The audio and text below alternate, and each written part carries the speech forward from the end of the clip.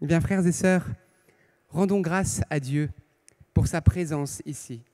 La parole de Dieu nous dit que un pauvre cri, le Seigneur l'entend et il le délivre de toutes ses angoisses.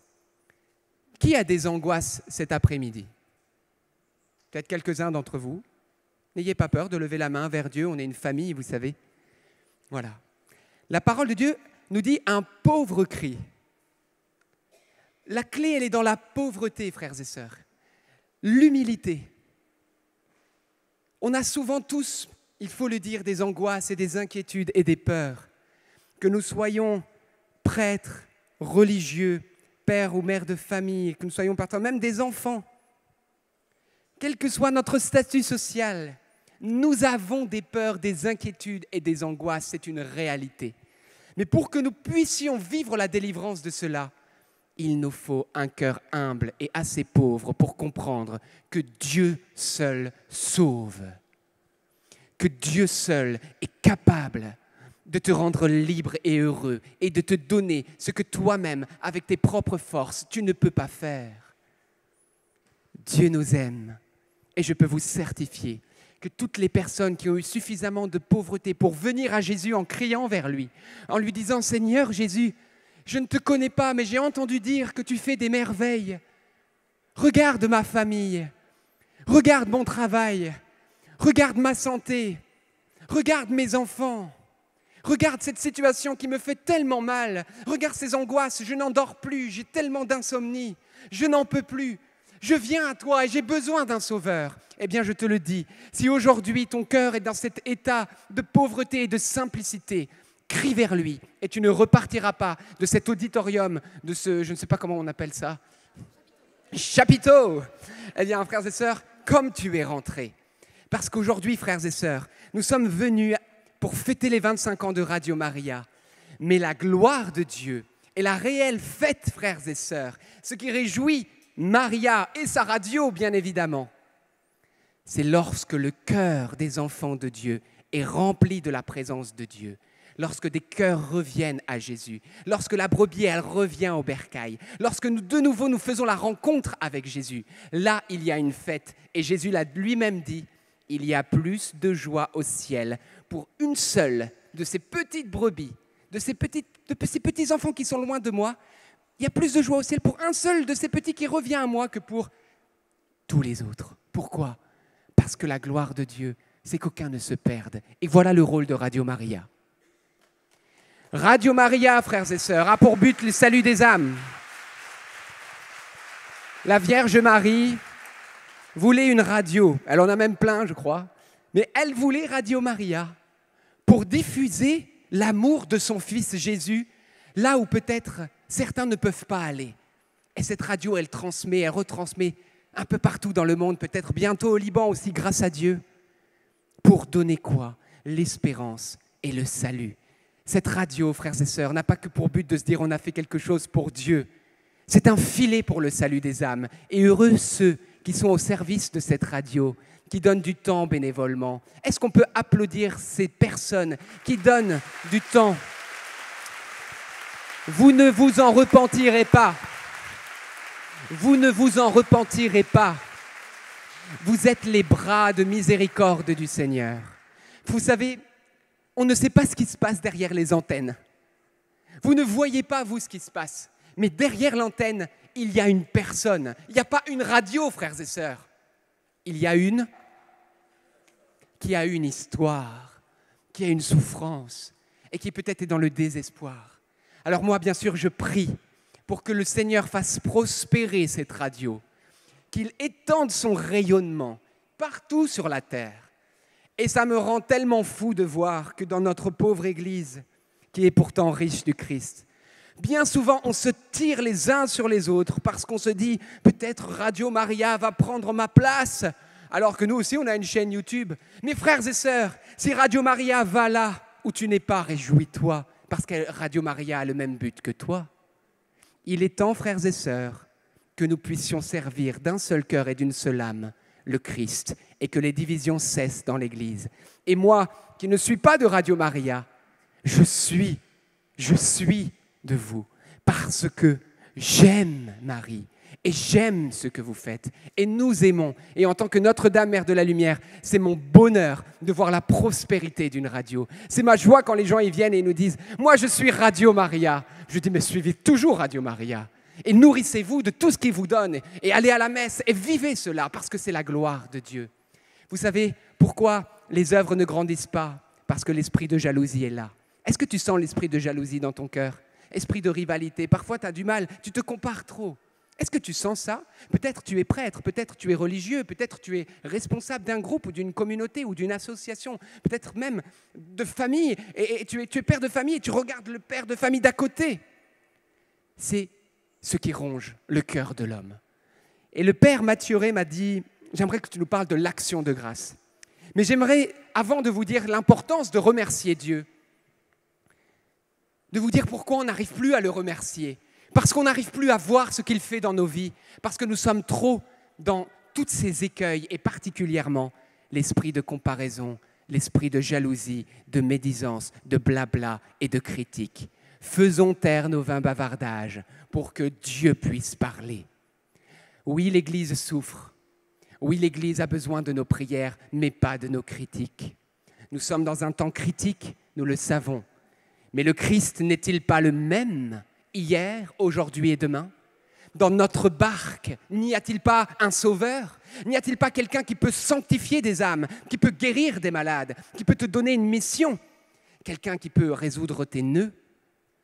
Frères et sœurs, Radio Maria n'a aucun sens si nous ne croyons pas que Jésus peut faire la différence. Jésus est venu pour toi aujourd'hui et pour toi qui m'écoutes sur cette antenne. Il n'a qu'un seul désir, te libérer et te combler. Et la première chose que Jésus veut faire tomber, c'est la jalousie et le bavardage et toutes ces critiques que nous faisons les uns aux autres, où nous nous tirons les uns sur les autres. Si tu veux rendre grâce à Dieu et si tu veux voir les fruits dans ta vie, prends la jalousie et mets-la au pied de la croix aujourd'hui.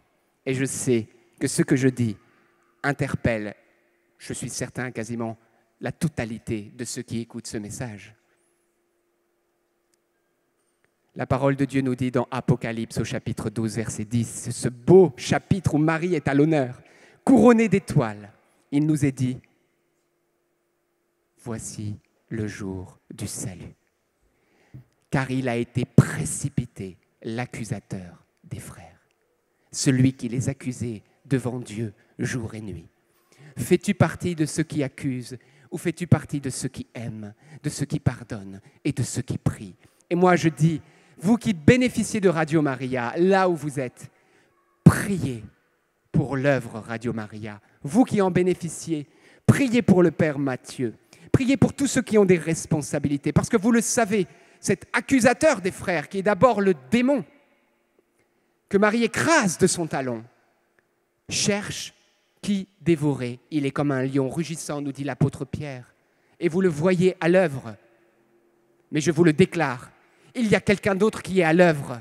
Et son nom, c'est le Christ, le lion de la tribu de Judas, celui qui est le sauveur du monde.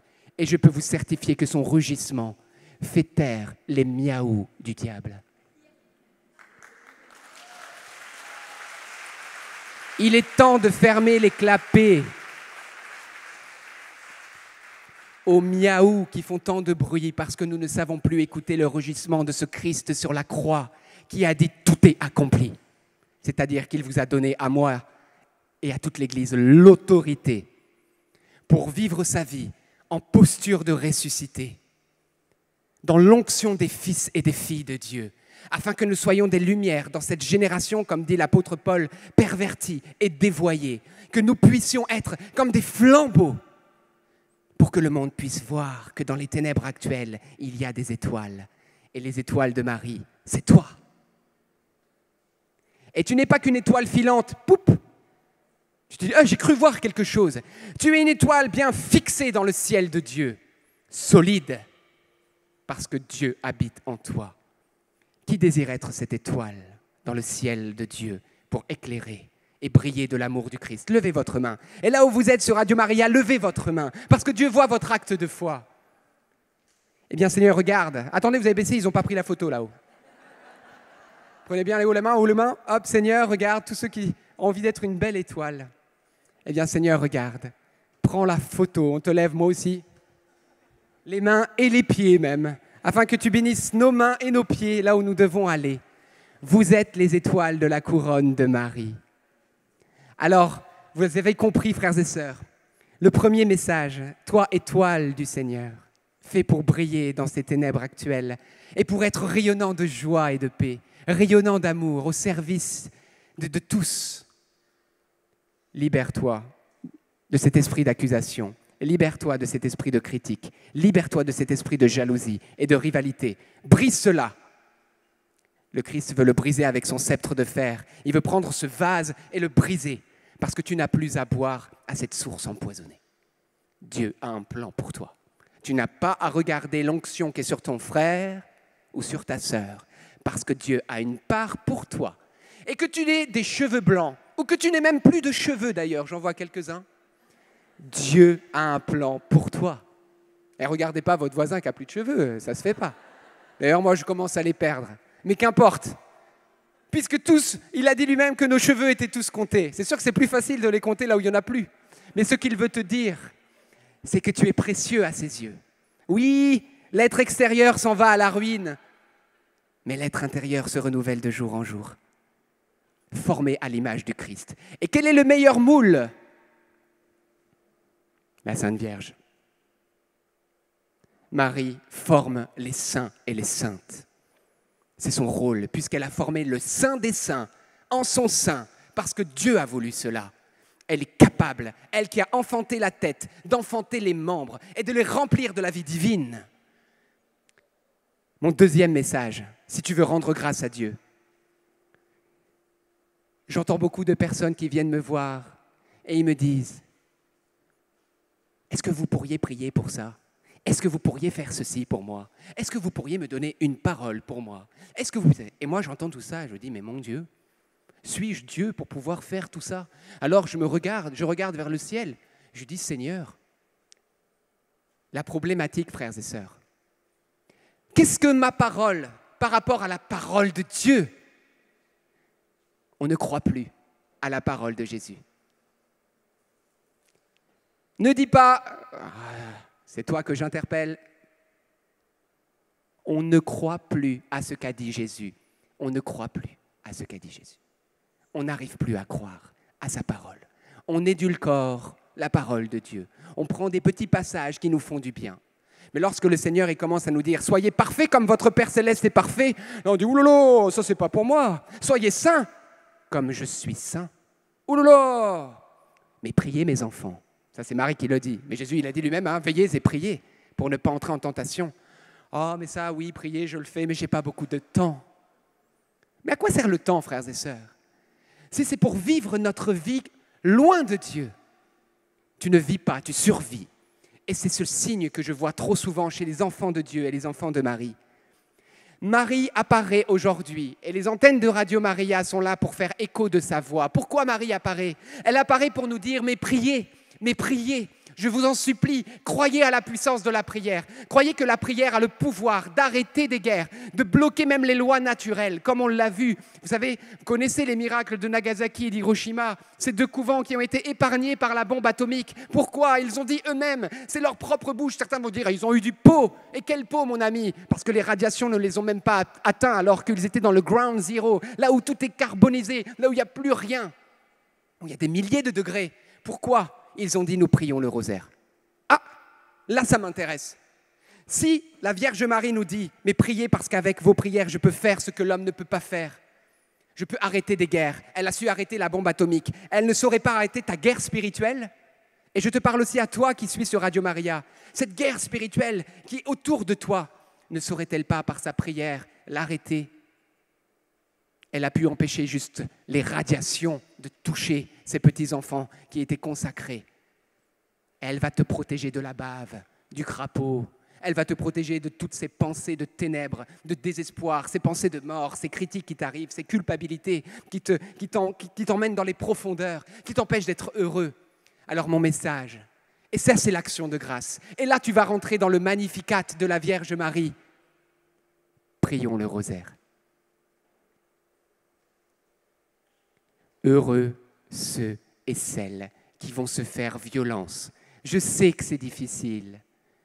Moi, quand je priais ma première dizaine, la première, je l'ai faite à. Je me souviens, ça faisait très longtemps, j'étais à Medjugorje, il avait sœur Emmanuel Maillard, j'étais au premier rang, je regardais ce qui se passait, j'étais pas encore totalement à Jésus, c'était mon, lieu de conversion. Et puis, il y avait plein de monde, un peu comme un petit chapiteau comme ça. Et puis, elle me regarde, et puis elle fait Toi, tu vas animer la dizaine. Moi, je fais Oh, je sais même plus dire, je vous salue Marie. Alors, je suis arrivé, je me suis assis à côté d'elle, et mes genoux s'entrechoquaient. 15 ans plus tard, je suis là à vous encourager comme un petit frère. J'avais peur de, louper mon Je vous salue Marie, parce que ça faisait longtemps. C'était tellement dur pour moi, déjà une dizaine. Et puis là-bas, j'ai fait le pas du chapelet. Grâce à Dieu, elle m'a donné la grâce, la Vierge Marie, de ne pas me tromper. Un vrai miracle. Merci, maman. Comme quoi, elle ne vous, vous abandonne pas dans les moments où vous êtes comme ça. Comme aujourd'hui, je sais que le Saint-Esprit est en train de saisir ma langue. Mais vous savez pourquoi? Non pas pour faire des glorioles. Il l'a promis, frères et sœurs. Jésus a dit, quand vous aurez à rendre témoignage, ne vous inquiétez pas de ce que vous aurez à dire, ou comment même le dire. L'Esprit de votre Père parlera en vous. Point final. Moi, j'aime les points finaux de Jésus. Après, Jésus dit, tu dis oui, non, ce qu'il y a entre deux vient du mauvais. Nous, on aime l'entre-deux, mais Dieu n'aime pas. Quand je le vois sur la croix, il n'est pas entre deux, frères et sœurs. Ah non. Et on ne veut pas d'une église tiède. On ne veut pas d'une vie tiède. Non on veut une vie embrasée de l'esprit. Et un beau moyen de l'être en ce mois de mai, c'est le rosaire. Frères et sœurs, je le demande à la Vierge Marie aujourd'hui. Peut-être vous ne priez même pas une dizaine, mais j'aimerais vous dire que cette prière des pauvres, parce que c'est tellement pauvre, cette prière que a déjà balbutié Élisabeth, la cousine de Marie, mais comment m'est-il donné que vienne à moi la mère de mon Seigneur? Bienheureuse, celle qui a cru en l'accomplissement de ce qui lui a été dit de la part du Seigneur. Elle était déjà de celles qui la disaient bienheureuse et qui commençaient déjà à se rendre compte de combien est grande Marie. Priez votre chapelet si vous ne priez qu'une dizaine par jour. Et si vous ne priez pas, ou si vous priez déjà un chapelet, faites-en deux. Et si vous en priez deux, faites-en trois. Et si vous en faites trois, faites-en quatre. Et priez le rosaire. Et peut-être certains se disent, moi je veux en faire quatre d'un coup. Eh bien, soit. C'est vrai que c'est difficile. Moi, ça m'a été pénible. Je me souviens quand je priais mon chapelet, déjà, c'était pas simple. Puis quelqu'un est venu me dire Tu sais que la Vierge Marie, elle demande le rosaire, hein? Vraiment? Je dis Oui, oui, bah, elle le demande à tous, mais sauf à moi. C'est évident, euh, impossible. Frères et sœurs, non. C'est comme un cordon ombilical. C'est un don de Dieu, c'est une grâce. Il faut la demander. Mais ce que je peux vous dire, c'est que le temps que vous prenez à faire vos Je vous salue Marie, elle, cette maman, elle s'occupe de vous. Elle s'occupe de vos enfants, de vos petits-enfants, de vos situations les plus nouées, celles qu'on appelle Notre-Dame qui défait les nœuds. Qui a des nœuds dans sa vie? Lève la main. Alléluia, maman. Experte en défaite des nœuds et en défaite de l'ennemi. Votre rosaire. Je sais que certains vont déjà se décourager en disant c'est pas pour moi, mais je suis aujourd'hui venu me faire l'apôtre du rosaire parce que je l'ai vu dans ma vie. Moi-même, j'ai des combats. Moi-même, j'ai des situations extrêmement parfois pénibles que je dois relever. Et je peux vous certifier que je ne les traverse jamais seul. Mais je prends mon rosaire et en tout temps et en tout lieu, je les graine. Et je peux vous certifier que l'onction m'est donnée. Et pas après pas, la présence de la Vierge Marie m'enveloppe. Et jamais elle ne m'a abandonné. Jamais elle ne vous abandonnera. Et c'est une science sûre que je vous annonce. Une maman n'abandonne jamais ses petits. Peut-être selon la terre, oui, mais non pas la maman du ciel. Alors voilà, Heureux êtes-vous si vous entendez le cri du rosaire de Marie. Ne venez plus en vous disant j'aimerais, j'aimerais. Marie aujourd'hui vient vers toi, elle te dit j'aimerais, j'aimerais que tu pries le rosaire. Ah madame, elle vous aime la Vierge, elle vous remercie pour vos prières. Vous découragez pas. Le Seigneur vous entend et il vous aime. Il entend votre cri, il entend pour qui vous priez. Ne vous découragez pas. Parce que Jésus est bon. Et il est bon pour vous. Il est bon pour votre famille. Et cette parole, elle est pour plusieurs. Abat la jalousie. Bonjour le rosaire. Et la troisième chose, frères et sœurs, quelque chose qui met un frein à ton action de grâce, mais qui est pire que ça qui peut mettre un frein à ton éternité. Et pourtant, c'est des personnes qui prient, et pourtant, c'est des personnes qui communient. Mais je me suis rendu compte de ma petite expérience de, de jeunes un peu parfois missionnaires, que beaucoup de personnes aiment Jésus, mais ne font pas ce qu'il dit et ne suivent pas ses dix commandements. Les premières paroles du Christ ont été Convertissez-vous, car le royaume des cieux est tout proche. Au ciel, il n'y a pas de péché. Au ciel, il n'y a pas d'homicide, il n'y a pas de médisant, il n'y a pas de haines intestines, il n'y a pas d'adultère, il n'y a pas de, de menteurs, de voleurs. Non. Il y a la sainteté. Et nous avons cette vie pour laisser Dieu, tel un potier, peaufiner sa poterie. Quelle est la réalité de ta vie aujourd'hui avec Dieu? Souvenez-vous le riche. Il vient voir Jésus. Comment, je peux faire pour aller au ciel? Ça vous intéresse d'aller au paradis? Ça intéresse quelqu'un d'aller au paradis? Qui s'intéresse? À vous. Bah, merci. Moi, José, tu iras, grâce à Dieu. Mais tout le monde, bien entendu qu'on est tous, on a tous envie du paradis. Et ça vous intéresse de savoir ce que Jésus a dit quand on lui a posé cette question? Il lui a dit, suis les commandements. Moi, j'aurais pensé qu'il aurait dit. Euh, je ne sais même pas d'ailleurs. Je ne sais pas ce qu'on peut dire de plus de ce que Jésus a dit, frères et sœurs. Il est trop merveilleux, ce Jésus. Je ne sais pas qu'est-ce qu'on peut dire de plus. Il a dit suis les commandements. Et le riche, écoutez bien, va lui dire je le fais déjà depuis ma tendre enfance. Waouh Mais qui peut dire ça aujourd'hui hein? Je pense qu'on serait une petite poignée là. Et Jésus va aller plus loin, il va poser son regard sur lui et il va l'aimer. Si quelqu'un garde ma parole, mon Père l'aimera. Et je me manifesterai à lui. Et je viendrai avec mon Père et nous nous manifesterons à lui. Oh, aimer Jésus, c'est garder sa parole. Et sa parole, c'est d'aimer. Et aimer, c'est vivre les dix commandements. Alors peut-être tu ne les connais pas, mais je t'encourage à les reprendre et à regarder si tu les vis vraiment. Et si tu ne les vis pas, eh bien, t'inquiète pas, pas de déprime aujourd'hui, car Jésus est là pour t'aider à te réconcilier avec lui. Nous avons de merveilleux prêtres dans cette assemblée qui peuvent te confesser si ça fait longtemps et qui attendent de, recevoir ton, tes péchés, tes confessions. Et là où tu m'entends, toi de Radio Maria, va voir ton prêtre et demande-lui de te confesser si tu en as lourd sur le cœur, parce que Jésus t'aime et il veut donner des vies nouvelles, une vie nouvelle. Alors vous avez compris, cet homme qui vivait des dix commandements, Jésus lui a dit, il te manque une chose. Waouh Moi j'aurais flippé. Qu'est-ce qu'il me manque? C'est pas énorme, hein, une chose. Moi j'aurais bien aimé que Jésus dise, il me te manque une chose. Moi j'ai l'impression plutôt que parfois il me dirait, euh, t'as une chose toi, mais il t'en manque 99. Lui, il manque une chose. Tout est bien donne-les aux pauvres et suis-moi. Il a vu Jésus que cet homme était attaché à l'argent. Foutu rond de cuivre qui nous empêche d'aimer Dieu, qui sont comme des lunettes, mais le problème c'est que c'est pas transparent. Tu vois plus et tu tombes dans un trou. Sois au service de Dieu et mets à ton service l'argent. Ne fais pas de ta vie une quête d'argent. Et j'aimerais vous le dire pourquoi. Je me souviens, j'étais aux urgences, je suis médecin urgentiste, et je me souviens avoir vu cet homme. Il était dans, dans ce box, et il me disait, en gros, hein, c'est un résumé, ça fait des années, j'étais interne. Il me disait, j'ai des maisons, j'ai des voitures, j'ai des immeubles. Mais maintenant, dans, dans mon brancard, là, tout ça, ça sert à rien. Et je me suis dit, waouh, le message. Il y a des gens qui se crèvent pour avoir un dixième de ce qu'il a. Lui, il l'a et il comprend que ce n'est pas son bonheur.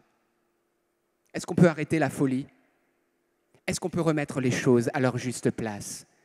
L'argent, lorsqu'on l'use avec Dieu, peut faire tellement de bien, mais aussi peut te fermer la porte du ciel. Alors je te le déclare, mets aussi tes biens au service du royaume et sois libre, car Jésus te veut libre. C'est la liberté que Jésus veut. Et si tu te dis, moi j'en manque, eh bien je prie, et nous prions, nous demandons à Marie. Il a promis qu'il ne nous délaissera pas et ne nous abandonnera pas. Et il a dit, je sais que vous avez besoin de manger, boire, vous vêtir. Je sais tout ça. Et le Père le sait. Mais cherchez d'abord le royaume et sa justice. Et tout cela vous sera donné. Le royaume, c'est de vouloir Jésus. le paradis, être enfant de Dieu, la justice de Dieu, c'est-à-dire accueillir Jésus par la foi et vivre selon ses commandements. Lorsqu'il va envoyer ses apôtres, il va leur dire, baptisez au nom du Père, du Fils et du Saint-Esprit, et enseignez-leur à garder tout ce que je vous ai appris. À mettre en pratique, quoi. Alors voilà. Aujourd'hui, Jésus n'est pas venu juger, mais il veut former des saints par Marie et des saintes. Que Radio Maria soit une radio de saints et de saintes. Que ça soit une onction de sanctification ici. On n'est pas juste là pour qu'on nous fasse un peu mieux de violon pour mourir dans nos états de péché. Hein T'inquiète pas, mon petit mignon, Dieu est miséricordieux et puis change pas, t'inquiète pas, il n'y a pas besoin que tu changes. Faux. Il est venu pour la conversion de nos cœurs et il a payé le prix de nos péchés. Alors, frères et sœurs, moi je vous dis, n'attends plus. Le confessionnal t'est ouvert. Cours si ça fait longtemps. Remets ton fardeau. Prends les choix qui sont peut-être décisifs pour ta vie. Peut-être tu vis dans l'adultère. Peut-être tes yeux voient ce qu'il ne faut pas voir. Peut-être ta parole est un véritable venin. Au lieu de bénir, tu maudis. Peut-être tu as une haine intestine, un pardon que tu n'arrives pas à donner. Peut-être, quand je dirais, à cause d'une injustice réelle, mais tu es lié par ça. Peut-être tu m'entends par Radio Maria et ça résonne dans ta poitrine. Je te le dis, Jésus est là, les bras ouverts, il te dit, c'est le moment. C'est aujourd'hui le moment favorable. C'est maintenant. Choisis la vie elle te sera donnée. Tu te dis, je n'arriverai jamais à pardonner. Jésus t'aidera. Parfois, ça prend un peu de temps, mais il t'aidera dans ce chemin, un chemin de croix, mais qui t'amène à la résurrection. Alors, je récapitule. À bas la jalousie et les critiques, qu'on n'entende plus une personne de Radio Maria. C'est pas du tout, je ne parle pas de ceux qui organisent Radio Maria, mais de ceux qui écoutent Radio Maria, et puis de nous tous. Plus de critiques, et de médisance et de blabla dans le secret, alors que ça tonne aux oreilles de notre Dieu. Et ça vous, clairement, hein, ça vous retire la faveur de Dieu. C'est tellement bête. Hein. Quand tu parles sur quelqu'un, ta malédiction s'élève, mais elle te retombe sur le crâne. Hein. Tu es le premier à recevoir du fruit de tes lèvres. Hein. La parole de Dieu nous le dit, et je le dis, hein. et c'est important, et je le dis avec force, parce qu'il est temps que nous fassions attention à cette petite langue, un vrai gouvernail. Si tu l'utilises à droite, tu vas aller à droite. Si tu dis à gauche, à gauche. Utilise-la pour la bénédiction. La mort et la vie sont au pouvoir de la langue, dit l'Écriture. Dompte-la par l'Esprit Saint. Et bénis Dieu. Et bénis tes frères qui sont créés à l'image de Dieu. Et je veux te dire, particulièrement ceux qui en ont le plus besoin, ceux qui tombent, ceux qui chutent, ceux qui t'ont fait du mal. Bénissez ceux qui vous maudissent, a dit le Christ. Aimez jusqu'à vos ennemis alors on vous comprendra, on vous verra pour de réels fils et filles du Père. Frères et sœurs, je ne suis pas venu édulcorer la parole de Dieu, mais vous montrer que si Dieu est venu, qu'il a été crucifié en la personne du Fils unique, qu'il est ressuscité, qu'il a dit à ses apôtres, ne faites rien avant que l'Esprit Saint vous remplisse et vous baptise, c'est qu'on a besoin de Dieu pour devenir des saints et des saintes, et que notre vie est une vie divine que Dieu veut donner. Que notre nature humaine soit transfigurée par la nature divine du Christ, afin que tu puisses dire dans ton quotidien si simple, comme Saint Paul, ce n'est plus moi qui vis, c'est le Christ qui vit en... Qui aimerait que Jésus se déploie dans sa vie? Lorsque tu manges, que le Christ mange en toi. Lorsque tu témoignes, que le Christ témoigne en toi. Lorsque tu travailles, que ce soit lui en toi. Lorsque tu te couches, que ce soit lui en toi. Un seul cœur, une seule âme, qu'il soit un, comme nous sommes un Père, que nous soyons un avec notre Dieu. Ça vous paraît fou et pourtant tu es appelé. Ah, je n'en peux plus, frères et sœurs, de cet esprit d'incrédulité qui nous empêche de recevoir la parole de Dieu. Tu as une place et Dieu t'appelle à la sainteté, oui, toi. Et même si tu as 95 ans et tu écoutes Radio Maria, le potier veut faire de toi un saint et une sainte. Vous allez être satisfait je parle à tous les insatisfaits de leur vie. Lorsqu'on laisse la place au Saint-Esprit, il n'y a plus d'insatisfaction et de tiédeur. Il y a le bonheur. Et alors, l'action de grâce arrive. La parole de Dieu nous dit dans Colossiens 3, vivez dans l'action de grâce. 1 Thessaloniciens 5 nous déclare, soyez toujours joyeux, priez sans cesse. En toutes circonstances, soyez dans l'action de grâce, c'est-à-dire remercier Dieu. Est-ce que quelqu'un a une bonne raison de remercier Dieu dans sa vie? C'est vraiment de l'aérobic que je vous fais faire depuis tout à l'heure. hein. Vous êtes merveilleux en plus. Bah oui, on a tellement de choses, même une seule chose. Mais parfois, on voit plutôt le verre vide que le verre plein. C'est pas vrai? Hein, c'est pas vrai? Alors que je peux vous certifier que lorsqu'on dit merci à Dieu, alors il dit, oh là là, il est touché, notre Dieu. Il vous donne la vie. Il vous a préparé même le menu de ce que vous allez manger aujourd'hui. Le soir, vous ne voyez pas, mais il est là. Il y a peut-être, il envoie un de ses bons anges. Quand vous souffrez, il est là, il pleure avec vous. Mais si on savait combien Dieu est avec nous, tellement présent, mais nous ne sommes plus présents à lui. Alors voilà, vivez ces trois choses. Abat la jalousie, vive le rosaire et vivons selon les commandements d'amour de Dieu en mettant à nos pieds l'argent et cette idole qui ne doit plus vous aveugler et m'aveugler. Et je vous certifie que Dieu va prendre l'espace de ta tente et qu'il va la déployer. Alors tu verras tes fils et tes petits-fils recevoir aussi une faveur particulière parce que Dieu bénit ceux qui marchent selon sa voie. Le peuple hébreu est le premier exemple. Lorsqu'ils marchaient avec Dieu, c'était la faveur. Leurs ennemis étaient détruits en un instant, même s'ils étaient plus petits et moins forts.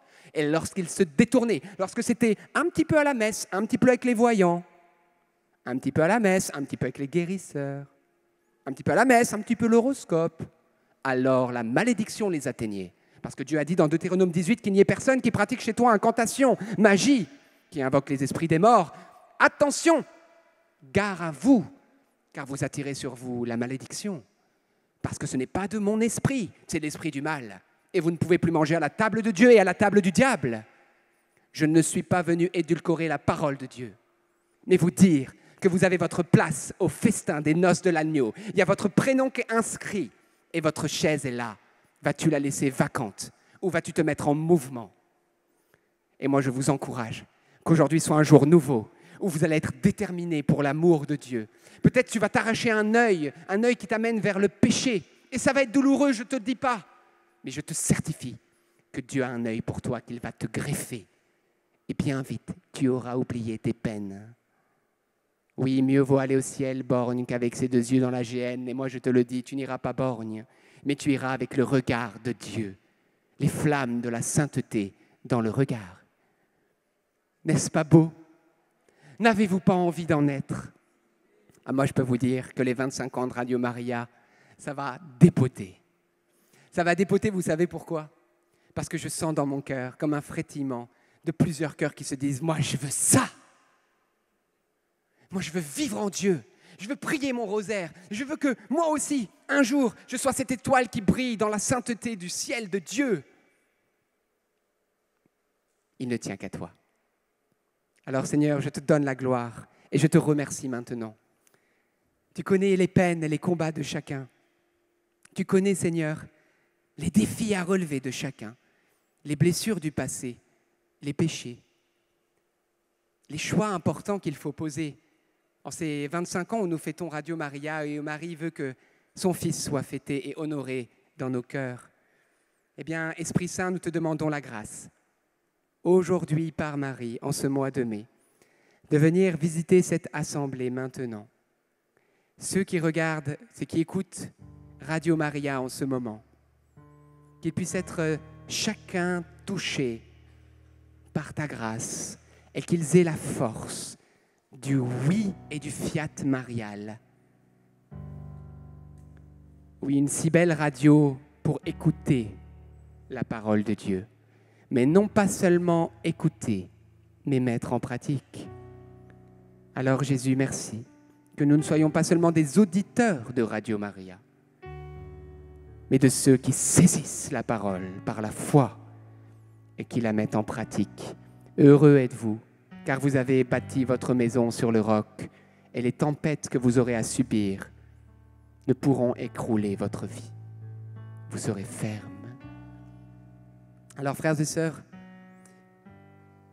pendant quelques secondes, je vous invite à fermer les yeux et à mettre votre vie devant le Christ avec une grande confiance, car il n'est pas venu juger mais sauver. Il est tellement plein d'amour pour nous. Sur la croix, son côté est ouvert lui qui a dit pardonne-leur, ils ne savent pas ce qu'ils font. Aujourd'hui, il est venu parce qu'il t'aime, il est venu t'encourager parce qu'il t'aime, Il n'est pas venu te dire monte plus haut, il est venu te chercher plus bas et te prendre dans ses bras pour t'amener plus haut. À l'homme, c'est impossible, mais pas à Dieu. Alors mets ta vie maintenant, avec ses joies et ses peines, devant Jésus et devant Marie. Toi qui m'écoutes sur Radio Maria, prends, voilà, mets, mets ton cœur et ta vie en présence de Jésus et de Marie, qui sont là, là où tu es en ce moment. Et j'aimerais juste vous poser une question que vous seul, vous pouvez répondre.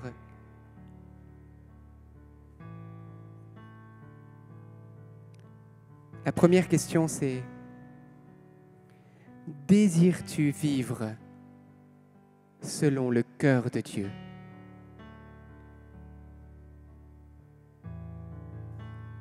Avec les choix, les sacrifices que ça peut-être entraînera, les décisions fermes pour rompre avec le péché, mais c'est ton bonheur hein, qui est en jeu.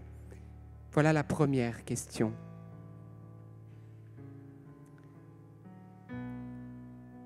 Prends le temps dans ton cœur de sonder ton cœur et de te dire est-ce que vraiment j'aimerais vivre ça?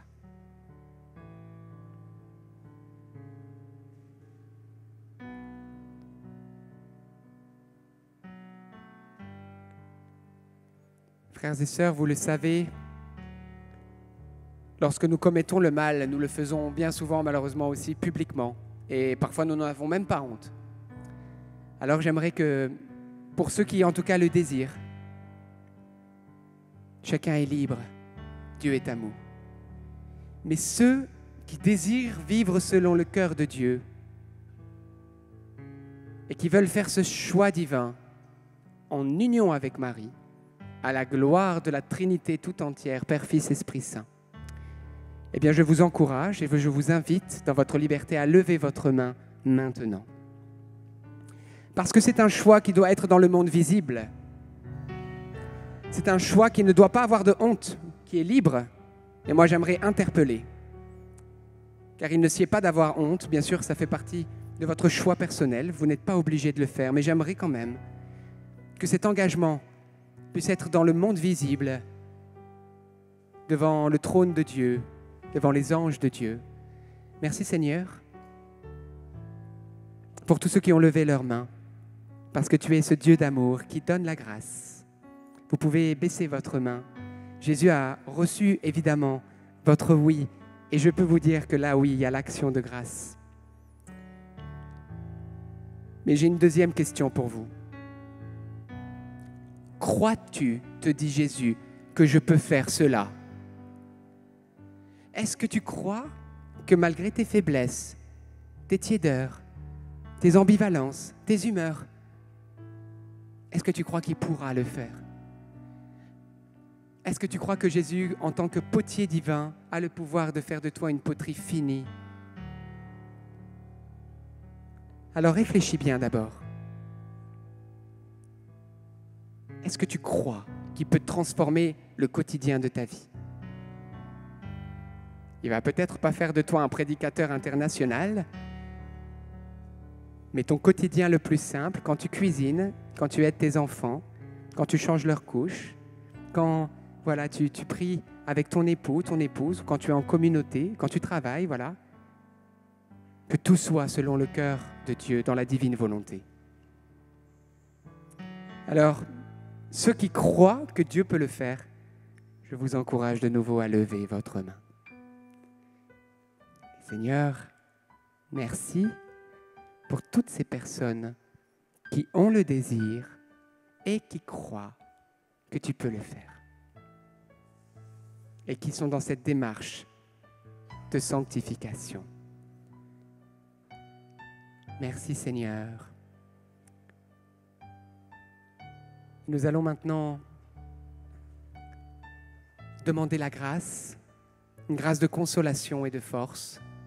Force pour peut-être certains que ça fait des années que vous n'êtes pas allés vous confesser, vous avez ce lourd fardeau et vous avez un peu peur.